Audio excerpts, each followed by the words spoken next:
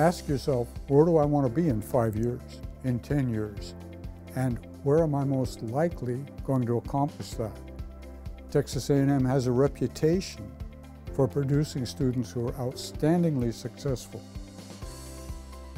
I chose Texas A&M Science because I wanted to be the best scientist I could be. A word is opportunity. The opportunities for you at Texas A&M in the College of Science is just truly amazing. I chose Texas A&M Science because it has some of the best research in the world and because I feel like I belong here.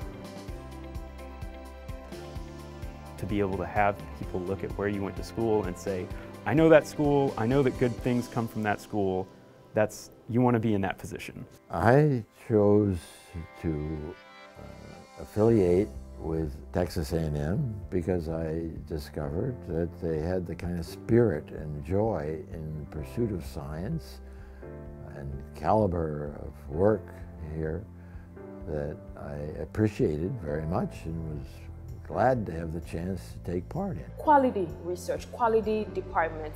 When I got on campus, I just knew it was, it was the place.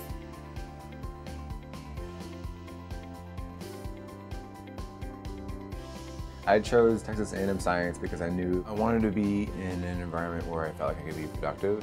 Um, I wanted to feel like I could feel at home there. And I also kind of wanted somewhere where I'd be um, inspired to do the work that I wanted to do and also somewhere where I could do the work I wanted to do.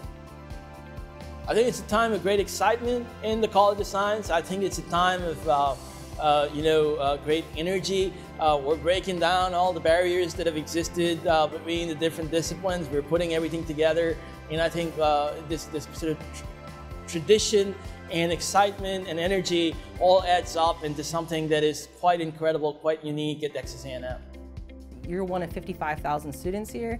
If you can work in a research lab and, you know, get to do experiments and get to know these professors on a one-on-one -on -one basis, that's a really good thing for your future professors are very friendly, easy to talk to, and everybody here was always willing to help, uh, both the faculty and the staff. So uh, that really helped me with uh, my transition into this uh, new environment. Talk to your professors, make the relationships with them.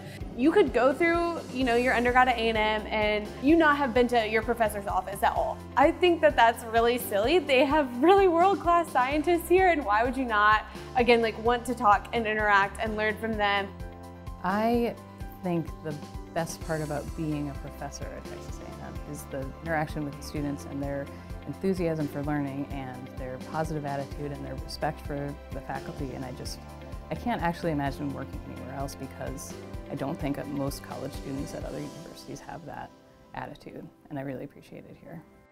When I first got to A&M, I was amazed at the amount of diversity and how welcoming Aggies are.